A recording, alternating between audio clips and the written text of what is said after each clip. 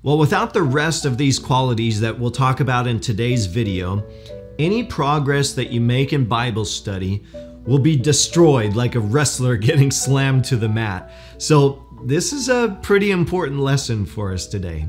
Hello, church. Today's video lesson is lesson seven of a 20 part video series we've been teaching through on Bible study. And today we're continuing our teaching through the book How to Understand the Bible for Yourself. We started last time with the first three requirements for Bible study, and today's video continues with points 4 through 12. So we're covering a lot today. And I'd go so far as to say that if any number of these are missing, that you can't actually study the Bible accurately.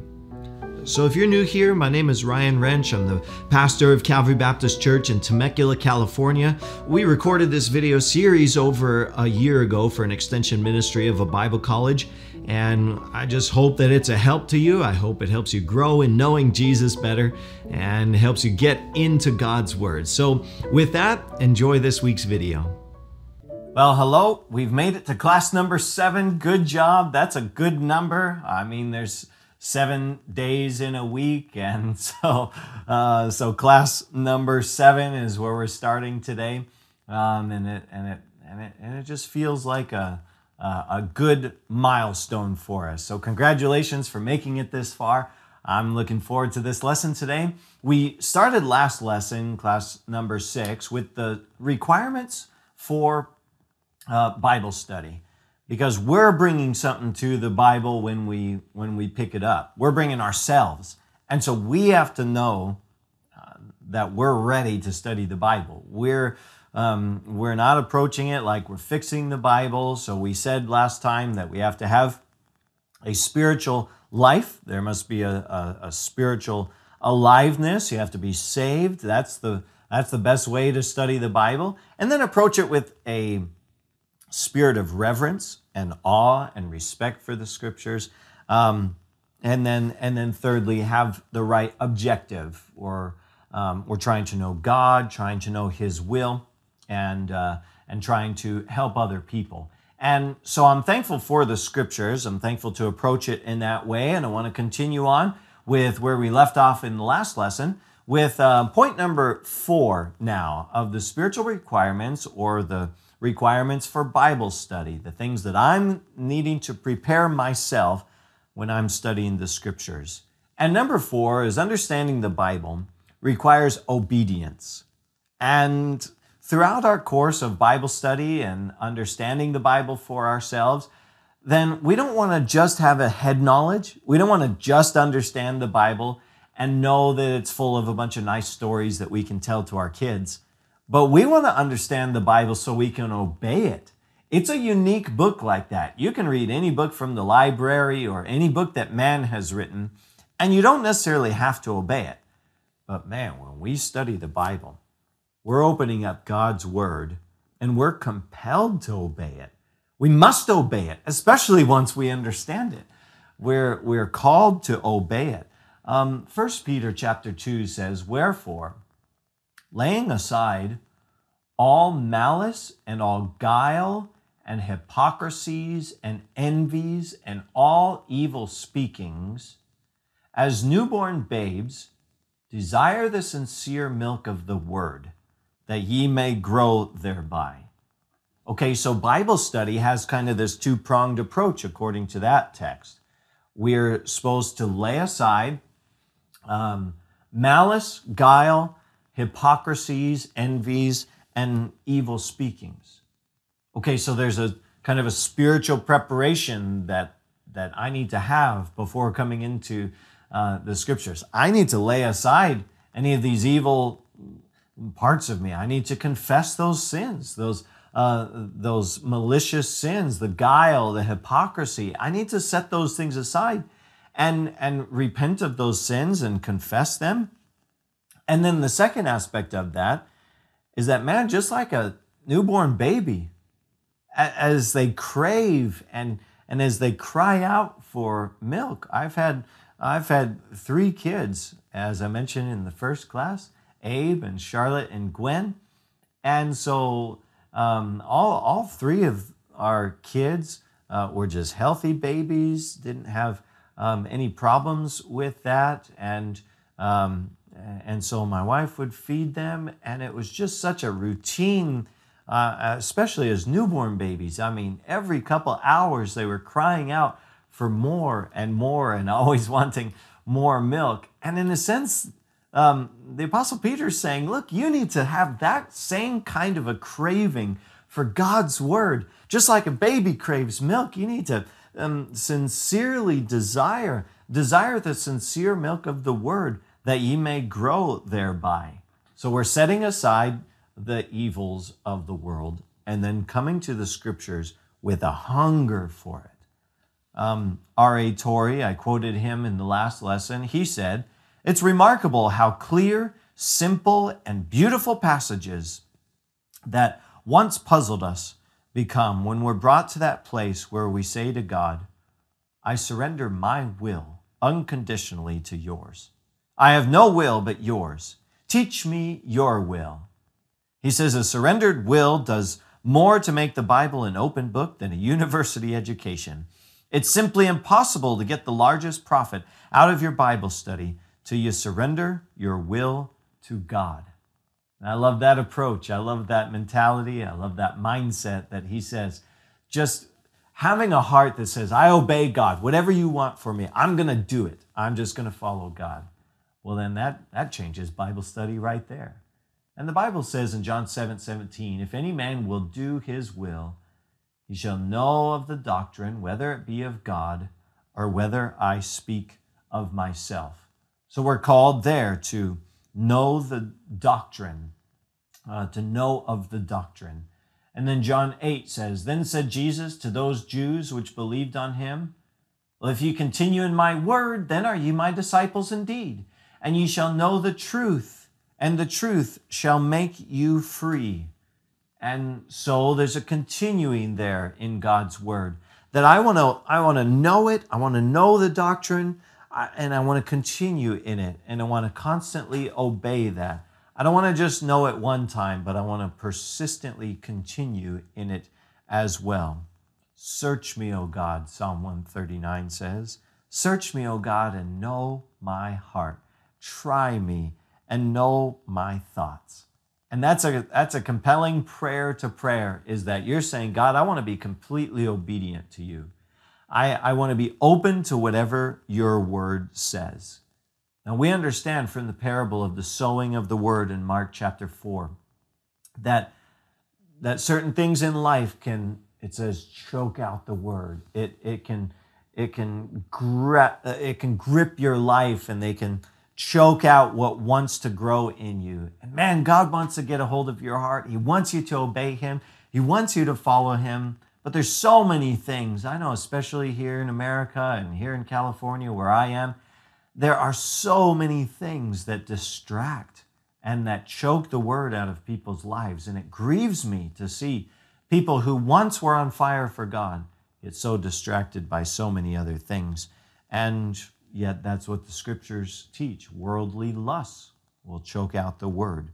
And so a Christian who's approaching the scriptures must approach it with an obedient heart that just says, God, whatever you want, you're the authority, I'm not. I want you to have full control of my life and be obedient in whatever realm that you want me to be obedient in. And that's a good way to approach the scriptures.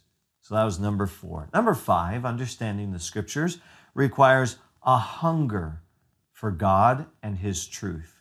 A hunger for God and His truth. Job, verse, uh, Job chapter 23 said, I have esteemed the words of His mouth more than my necessary food. And I love when there's people that have such a hunger for the Bible and love to study the scriptures, love to get into it. I, I'm, I'm so burdened for people who just who, who think the Bible is so boring and dry and dull. They're not reading the same book I'm reading. And I'm reading a book that's alive and that's life changing and, and that molds people and shapes their life and changes them. I love the people who are hungry for the scriptures and, and who meditate on it day and night and who filter their whole lives through the scriptures.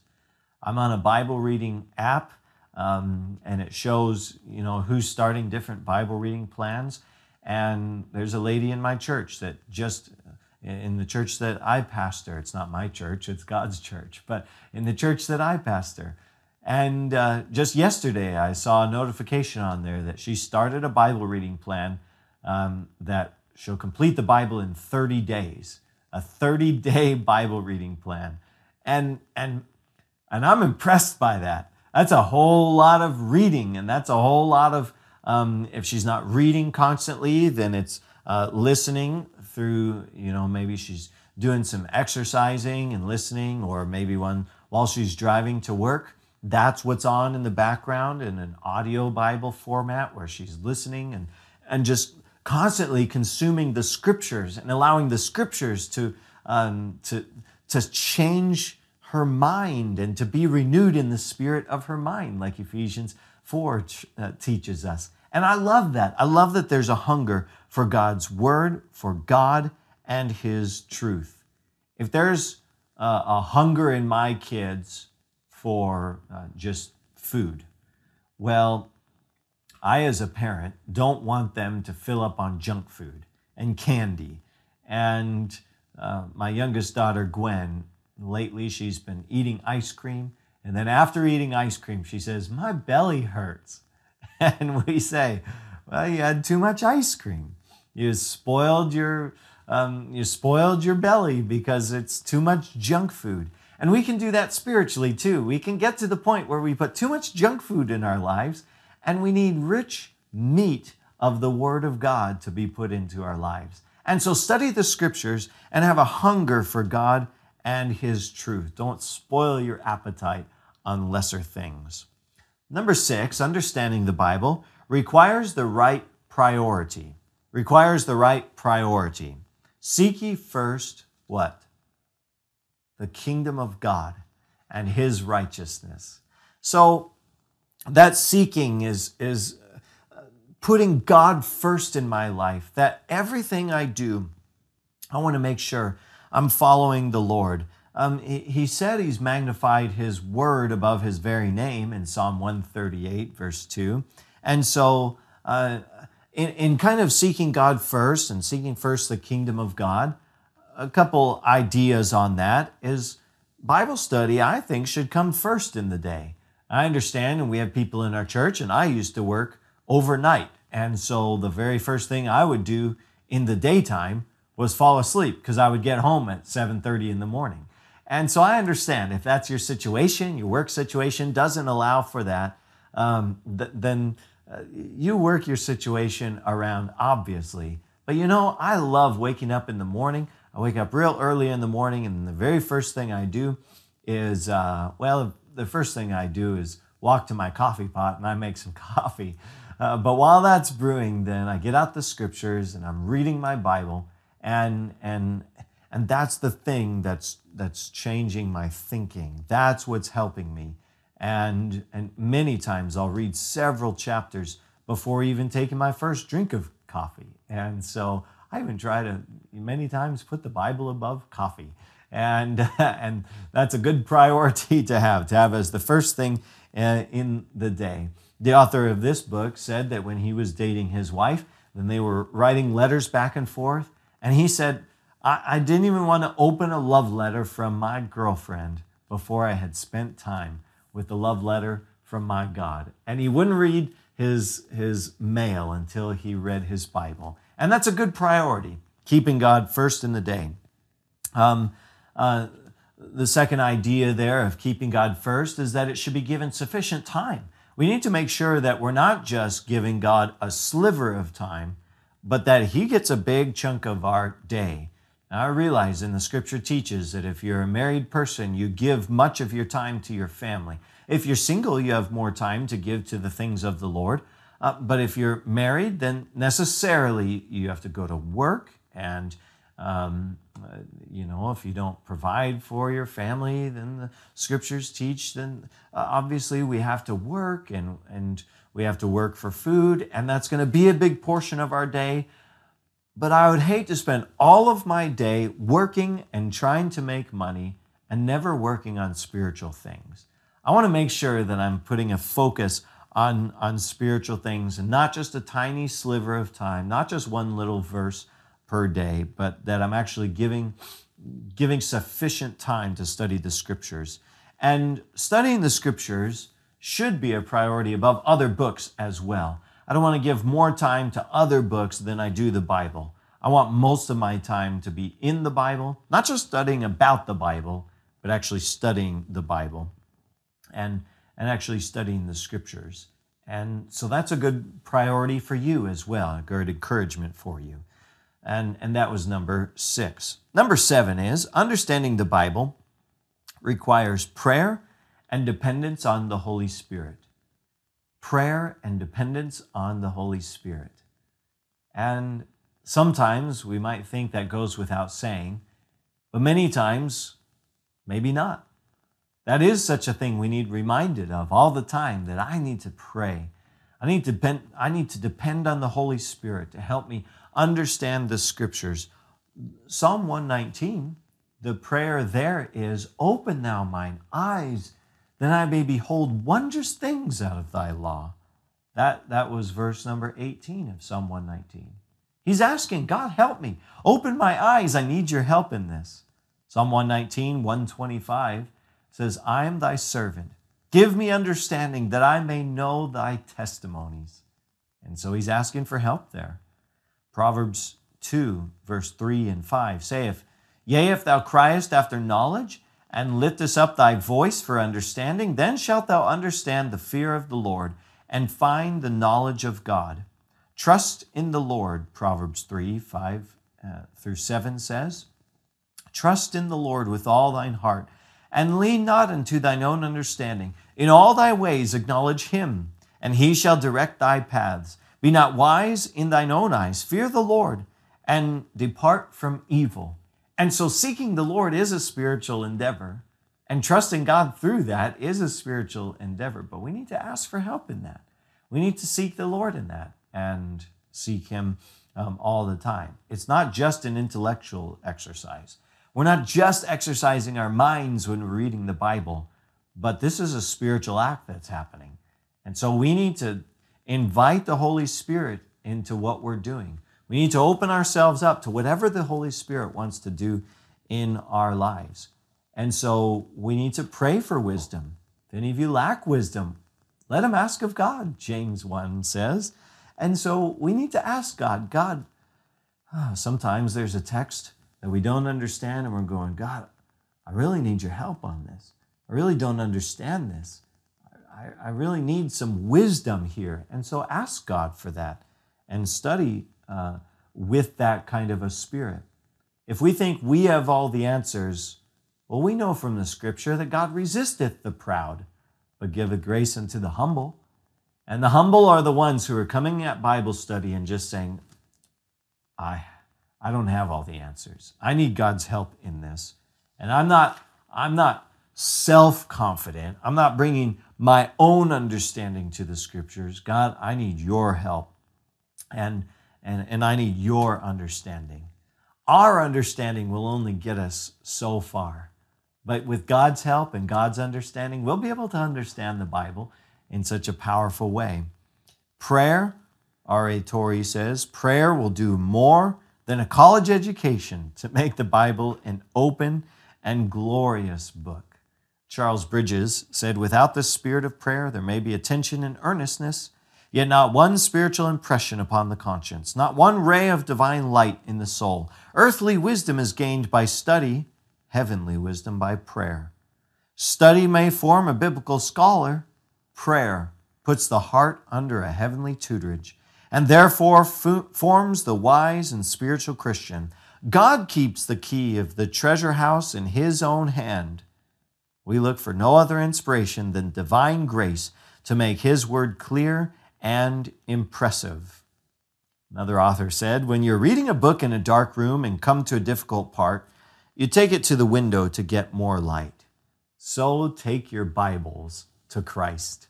we need to understand the scriptures in a better way, well, then bring it to Jesus Christ, and He's there to help. That was number seven. Um, understanding the Bible requires prayer and the Holy Spirit. Number eight, prayer. I mean, understanding the Bible requires meditation. Meditation. Oh, how I love thy law. It is my meditation all the day, Psalm 119, 97 says. Psalm 1 talks about meditation, doesn't it?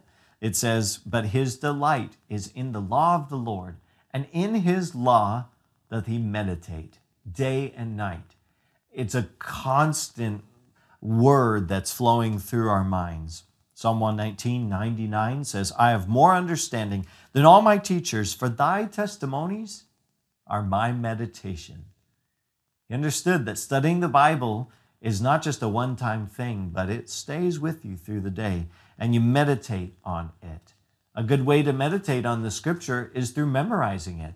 Study a verse so long that it gets into your soul that you can stay with it without opening a Bible. The rest of the day is just right here memorized um, in, in your mind and stays with you.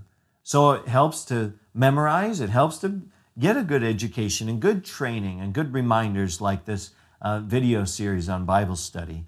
And it involves a, a mindset that says, man, I want to study the scriptures to see if these things are so, just like the Bereans did, just like 1 Thessalonians 5 says, prove all things, hold fast to that which is good, abstain from all appearance of evil. Studying the scripture means that, man, I'm going to I'm going to test this thing out. I'm going to meditate on it and spend some time with this. And, and, and that's a good habit to do. Number nine, understanding the Bible requires patience and persistence. Patience and persistence. I'm not going to understand everything uh, 100% the very first time I read it.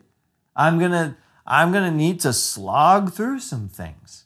I mean, we understand that in child rearing, right? One of the verses we read and and Peter was that we start as newborn babes and we're supposed to desire the sincere milk of the word but we're not supposed to stay with the milk. We're supposed to grow to the idea that, well, I can handle meat too.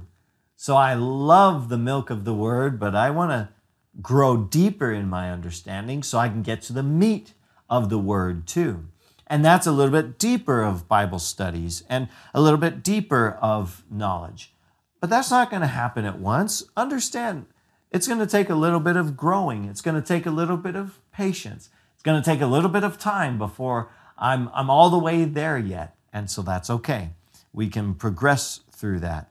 Um, this kind of growing, we need to be patient in because there's some pruning that needs to happen. John 15 um, says, I'm the true vine, and my Father is the husbandman. Every branch in me that beareth not fruit, he taketh away. Every branch that beareth fruit, he purgeth it, that it may bring forth more fruit. And so there's there's seasons where there's some things that might need to be pruned. Um, uh, we have to be patient because um, because it takes diligent labor. So there might be some pruning, there might be some work, there might just need to be some labor that goes into it, and and seeking some wisdom and getting some training and getting some more understanding, and and being diligent on it. And so seeking wisdom is equated to seeking riches, right? In the song, I mean, in the Proverbs. So we're to diligently seek wisdom the same way we diligently seek riches. Well, that kind of an understanding, I don't, I don't know how many people are as diligent about Bible study as they are about work and providing for their family and about earning an income and earning money. I mean, but that's the kind of drive we need to have. It needs to be that important as well. So we also need to be patient because um, it's the Word of God. It's the Word of God. There are going to be things that that because it's written from the mind of God, they're so far above us we may not fully fully understand it. We have to be patient because we live in a body in this groaning world, in this world that's that's decayed by sin, and our flesh has to battle the flesh all the time. In this environment, we get we get tired and we get tempted and we get dragged down all the time. Psalm 119, 83 says, I'm become uh, like a bottle in the smoke, yet do not I forget thy statutes. He says, even though I'm getting tossed around like kind of kind of this dried up leather bottle that that's that's losing some of what it used to have. Well, I don't want to forget thy statutes. Um, someone said, read the Bible when you feel like it, and when you don't feel like reading it, read it until you do. And that's good advice. That's really good advice, and I like that. Uh, but it's going to require some patience. It's going to require some growth, some time, and um, and a lot of the issues that we face aren't going to be solved overnight. And so we understand that. Number 10, understanding the Bible requires concentration. We have to concentrate, we have to put our minds um, in gear on uh, what we're focusing on. Now, in America, it seems like everybody has a smartphone and everybody has notifications turned on. And so constantly we're pulling out our phone and looking at uh, what buzzed in, what text message came in, what social media um, alert or like or, or comment buzzed in, and we want to respond right away. And it's like our minds never can go deep anymore. And I think that's a shame. We need to have some intense, focused, concentrated times in life where we put everything aside, we turn everything off, and we just focus on the Lord and on the scriptures. I'd encourage you to do that. Maybe spend a whole day and, and just, just go away with God. Take a Bible and a hymnal and just spend time with God. And, and, and I think regularly we need to do that. Uh, maybe if it's an hour a day, your devotion time is a distraction free environment. I think we'll talk through some more tips for that later. But a distraction free environment where you're concentrating on the Word of God. We're, we're in this, what's called the body of death, you know? We're struggling with what this flesh is constantly being drawn away by distractions. And so we need to learn how to concentrate. Um, having a, having a non distracting, quiet place is absolutely necessary. And the Lord deserves our undivided attention. He, he gave Himself for you. And so I don't think it's too much to ask that we give ourselves back to Him, and especially giving uh, portions of every single day. I understand you might have small children at home if you're a parent, and it might be, eh, you might only have tiny pockets, tiny windows of time, and, and work increase might be just um, the requirements of the things you have to do just to survive. I, I understand that. But as, uh, as busy and as crazy as life might get, I still encourage you to give time to the Lord, concentrate on the scriptures and allow the Lord to speak, uh, speak to you. And in those times, remove the things that will be distracting.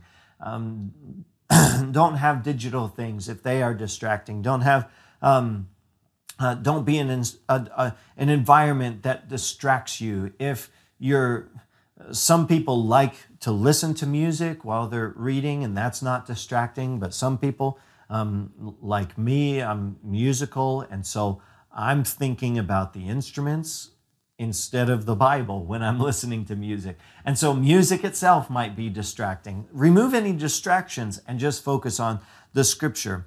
Um, and, and, and a computer might help, but maybe a computer is a distraction. And so you might need to remove that. Turn off cell phone notifications. Ask the Lord to help your mind focus on the Word of God. Um, um, if there's something in your soul that's bothering you, then, then cast all your care upon the Lord. Ask the Lord to, to allow you to have a time of concentration and focus for a while so that you can give your mind to the Lord for a short time and maybe write down what's bothering you and deal with that um, deal with that later if there's things that come into your mind while you're trying to study the bible just have a pen and paper ready and jot those things down and, and, and set them aside, set them aside and focus back on the scripture. And read with that kind of focused attention that I'm here for Bible study, I'm here for the scriptures. And if I misunderstood what was said, I'm going back and rereading what's there, and I, am not going to get distracted here. Um, another good tip don't try not to read while you're tired. I won't say don't read while you're uh, tired because some people just constantly are tired. I mean, you you wake up tired, and so um, I, I, may not be able to mandate that, obviously, but um, but as careful as you can be, um, try not to read while you're tired, and let that be a distraction. I said it already, but maybe read first in the morning. If there's an audio Bible that you can follow along with, that might help your mind to stay focused and attentive on that. Uh, maybe it's just a Bible that is printed too small and you might need to get some larger print, and that might help. Uh, just keep on going, be persistent, don't give up, uh, stay.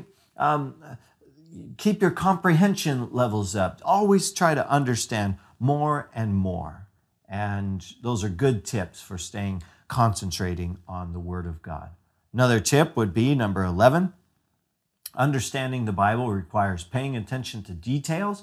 And we'll cover that in more detail in the future when we get into more interpretation and how to study the Bible. And so, looking for details, understanding verse uh, number 12, understanding the Bible requires humility. And we touched on that earlier. God resisteth the proud, but give grace to the humble. And we touched on that when we were talking about prayer and the Holy Spirit. But that's that's the the approach we need to have when studying the scriptures is we approach it with humility. And then this last one I'll mention is that understanding the Bible requires a good church. The church according to Timothy, is the pillar and the ground of the truth. And there's a lot of good teachings on videos, there's a lot of good teachings on the internet, but an internet pastor, a, a, a video recording of a pastor talking to you, I'm not your pastor. I don't know you. And someone on YouTube is not your pastor. They don't know you. You need to you need to make sure you're connected to a good local church that's preaching the Bible and there's a pastor that loves you and, and a church congregation, a family of believers there that is encouraging each other in the Lord and is provoking one another to love and to good works. And, and, and that's, I mean, that's what church life is about. And so the truth is not in some educated seminary somewhere. The truth is in the scriptures, which is which is founded in the church as well. And so um, and so seek out a good Bible preaching, Bible believing church and make sure that you stay connected to a church. Most of what we read in the scripture is uh, the New Testament, I mean, most of what we read in the New Testament, it's all connected to churches. And uh, and, and, that's God's design for this time period that we are living in. And, uh, and so I understand there's churches of all levels, there's Bible teaching of all different degrees out there. And uh, as, as long as there's sin in the world, which is forever until Jesus comes back and makes a new world, then you're not going to have a perfect church. I'm not saying uh, look for a perfect church. I mean, we're in it. We're sinners. We're bringing imperfections. We're bringing sin to the table. And so you're not going to have a perfect church, but, but get somewhere that's a, a solid uh, Bible church, uh, Bible preaching church, a church that's focusing on the scriptures. And when, when that's the case, then the preaching doesn't have to be super dynamic. I mean, if a preacher is opening up the scriptures and studying the Bible with you, and you're encouraged to open up the Bible, well then that's it you're in a good place when you're studying the scriptures. And and that's wonderful. Um, so so I, am going to stop right there. Bible study requires many many things in approaching it.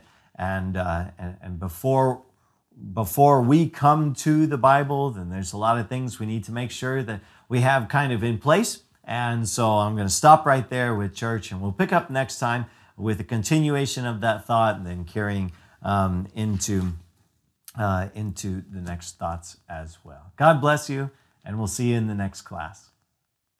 Well, thank you for watching this video from our 20 part series on Bible study. I realize this kind of content or our Baptist perspective might not be for everyone, and I don't want to waste your time, but if you did find it helpful or enjoyable, would you subscribe to our channel? We're releasing videos every Monday at noon Pacific Standard Time, and I just want to help you bring the Bible home. So we'll see you maybe in person this Sunday at our church. That's it for now. God bless you, church. Grow in grace and in the knowledge of our Lord and Savior, Jesus Christ.